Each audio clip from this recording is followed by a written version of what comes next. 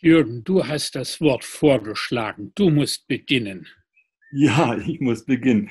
Ja, ähm, ich habe das Wort vorgeschlagen, weil es ja in dem ganzen sogenannten äh, Corona-Diskurs äh, ziemlich am Anfang schon aufgetaucht ist. Und also im März schon, Mitte März und ähm, seither äh, meines Erachtens einen ziemlichen Bedeutungswandel auch durchgemacht hat, also vor allen Dingen eine Bedeutungserweiterung durchgemacht hat. Und ähm, ich finde, es ist durchaus mal an der Zeit zu reflektieren, äh, was bedeutet eigentlich systemrelevant, äh, wie war der Wandel in der letzten Zeit. Ja, und äh, was kann man mit diesem Begriff eigentlich anfangen? Was kann man mit diesem Begriff tun in diesen Zeiten? Hm, hm. Ja, ich finde eben den, den Wandel auch sehr interessant. Ich würde denken, das äh, systemrelevant habe ich meines Wissens das erste Mal gehört, das war 2008 bei der Finanzkrise. Ja, da ja. war es aber eher äh, too big to fail und ähm, ja. also das Dinge als äh, unabdingbar für die Gesellschaft ähm, deklariert wurden und dementsprechend eben geschützt werden äh, müssen. Jetzt, glaube ich, ist es so die Frage, und das ist wirklich eine Frage, die ich auch äh, gern mit dir äh, äh besprechen möchte, die unterschiedlichen Art und Weisen, wie äh, System definiert wird. Also relevant ist klar, äh, aber was ist eigentlich das System? Und wenn du sagst, dass es da eine Verschiebung gibt, würde ich sagen, ist das eine Verschiebung von lebensnotwendig, lebensrelevant, überlebensrelevant zu, ähm, ja, jetzt extrem gesagt, wachstumsrelevant also äh, wirtschaftsrelevant, doch aber eher wachstumsrelevant. das ist für mich so eine äh, Verschiebung und da gibt es natürlich äh, sofort unterschiedlichste Definitionen oder sagen wir mal das Behauptungen und Interessenlagen. Und das kann man ja in diesem Konjunkturpaket ungefähr auch sehen, was da miteinander kämpft.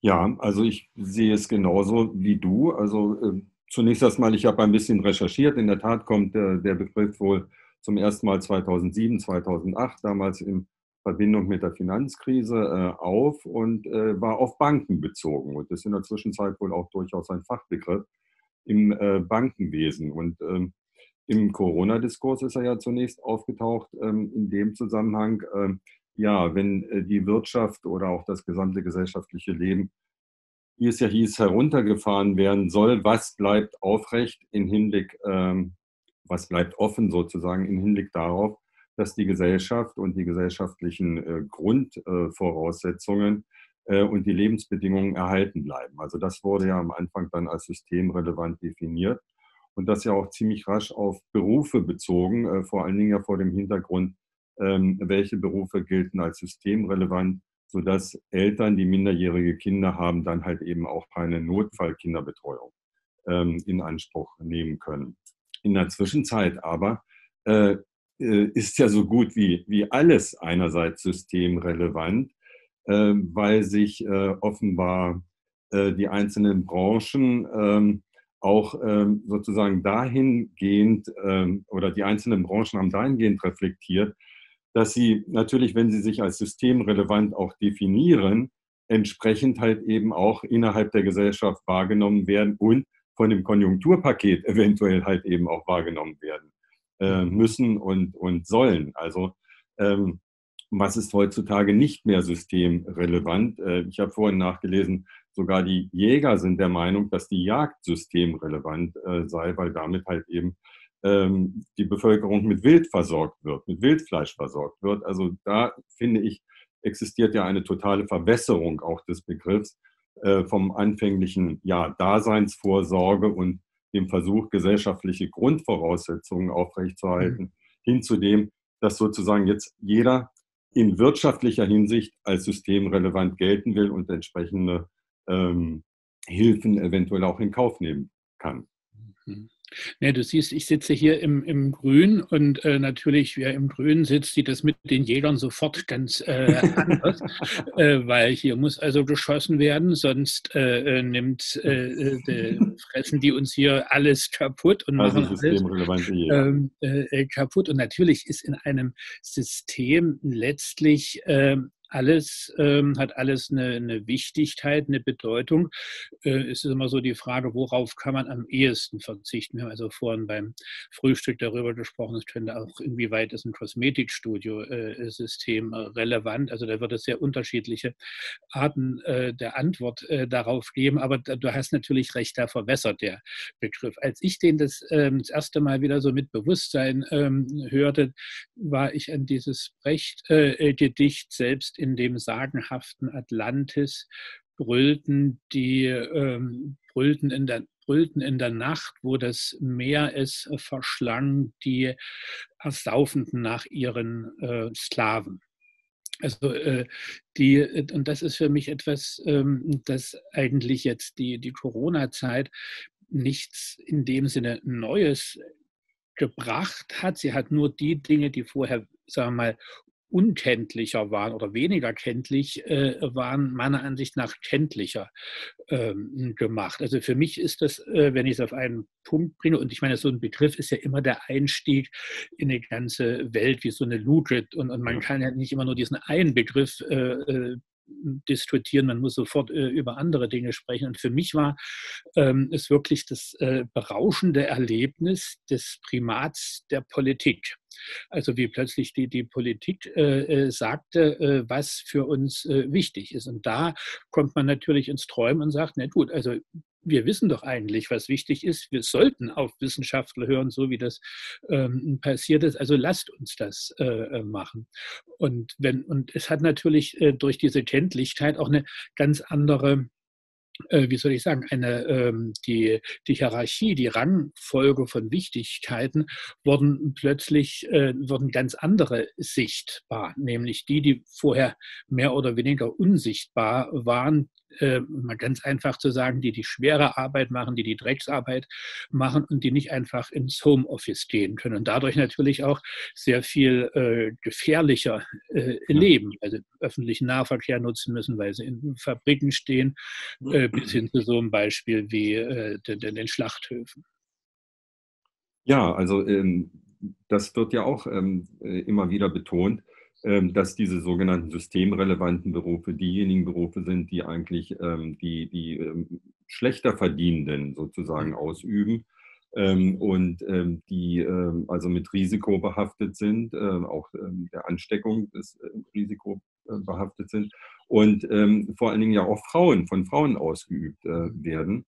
Das ist das eine, der eine Punkt. Du hast vom ähm, Primat der Politik gesprochen. Ähm, das fand ich am Anfang auch. Ich äh, fand es ganz erstaunlich, wie wir am Anfang ja äh, sehr deutlich ähm, die Entscheidungsmacht äh, bei der Politik hatten, und zwar bei einer durch Wissenschaft beratenden Politik, äh, so wie man sich das ähm, eigentlich auch wünscht. Und äh, das Primat der Wirtschaft, das wir halt eben vorher immer, immer gesehen haben, das trat zumindest im März und im April zurück. Und ich glaube aber, dass man an dem Begriff der Systemrelevanz oder der, des systemrelevanten und systemrelevanter Entscheidungen und Träger innerhalb der Gesellschaft jetzt sehen kann, dass die Wirtschaft ähm, äh, wieder sozusagen ein, eine, eine gewisse Hoheit im Hinblick ähm, auf ähm, die Deutung dessen, was gesellschaftlich wichtig ist und wohin wir gesellschaftlich gehen sollten, wieder beansprucht. Und ähm, das kann man, glaube ich, an diesem Begriff ähm, äh, sehr deutlich äh, nachvollziehen. Also es ist ja beispielsweise schon die Frage, ähm, ist ähm, der Luftverkehr systemrelevant in der Form, wie wir ihn äh, bislang hatten, oder müsste man ihn nicht, nicht anders äh, jetzt gestalten? Ich finde, bei dem Begriff der Systemrelevanz spielt auch eine ganz große Rolle, dass wir damit suggerieren, wir haben ein System, äh, wir definieren jetzt in einer Krisensituation das, was relevant ist für dieses System. Und wenn die Krisensituation vorbei ist, dann haben wir das System wieder, das wir vorher hatten. Mhm. Und so wollen wir es eigentlich auch haben. Und ich glaube, das ist ein, ein, ähm, ein Denkfehler. Und äh, dieser Denkfehler steckt auch zum Teil drin in, in ähm, der Anlehnung an die Systemtheorie äh, mit diesem Systembegriff halt. Ne? Also System ähm, als etwas, äh, wo Elemente zueinander in Beziehung stehen und diese Elemente dann interagieren. Und äh, wenn das gefährdet ist, versucht man halt eben das herauszukristallisieren, was eine Stabilität bringt. Und wenn die Gefährdungssituation von außen vorbei ist, dann ist die Stabilität wieder da. Und äh, dann haben wir die Situation wie vorher. Und ich glaube, wir müssen erstens uns fragen, äh, geht es nicht vielmehr um Menschen als um irgendwelche Institutionen oder um ähm, äh, Betriebe und so weiter und so fort und Wirtschaftsunternehmen geht es bei dem Ganzen nicht um Menschen, denn Menschen sind in erster Linie gefordert äh, und, äh, und gefährdet und äh, nicht äh, im Grunde Systeme beziehungsweise Organisationen in Systemen. Ähm, und ähm, müssen wir uns nicht darüber im Klaren werden, dass wir das System, so wie wir es hatten, nicht wieder hinbekommen und nicht wieder haben werden und vielleicht auch gar nicht wieder haben sollten und wollen.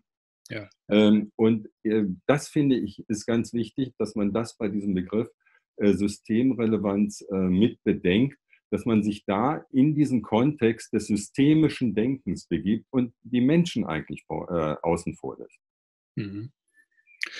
Also ich danke dir sehr. Das ist, ähm, das hat eigentlich der, der Unfall, die, die Krise, lässt uns etwas sehr viel klarer äh, sehen und, und stellt auch eine, eine, eine, Differenz her zu dem, was sonst unser Way of Life eigentlich äh, ist, unser Business as usual.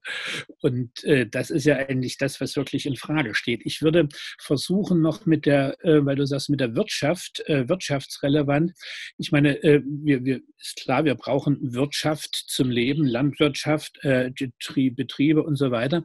Ich glaube, äh, es ist gar nicht so sehr der Begriff der Wirtschaft, als eher wirklich dieses Wachstumsorientierte. Also es ist ja jetzt nicht so, dass es gewesen ist, oh Gott, ähm, ich, ich will ein Auto haben, wir haben keine Autos. Oder äh, also bis auf dieses äh, vermaledeite Klopapier und vielleicht noch das eine oder andere, ähm, hat ja tatsächlich nichts ähm, äh, gefehlt. Ja, also gut, die, die, die Masken natürlich, das äh, das zeigt natürlich auch, wie wenig vorbereitet äh, wir waren. Aber mhm. ja. für, für, mich ist ähm, wichtig auch, dass eigentlich innerhalb der Krisenzeit es ein, eine Frage war, was brauchen wir? Was ist wirklich wichtig. Was, und, und das wäre für mich die Frage nach dem Menschen. Also was brauchen wir? Da muss ich natürlich auch sagen, also wir haben jetzt in den zwei, drei Monaten äh, keine neuen Autos äh, vermisst. Und äh, ich muss auch natürlich sagen, wir haben alle genug Bücher zu Hause.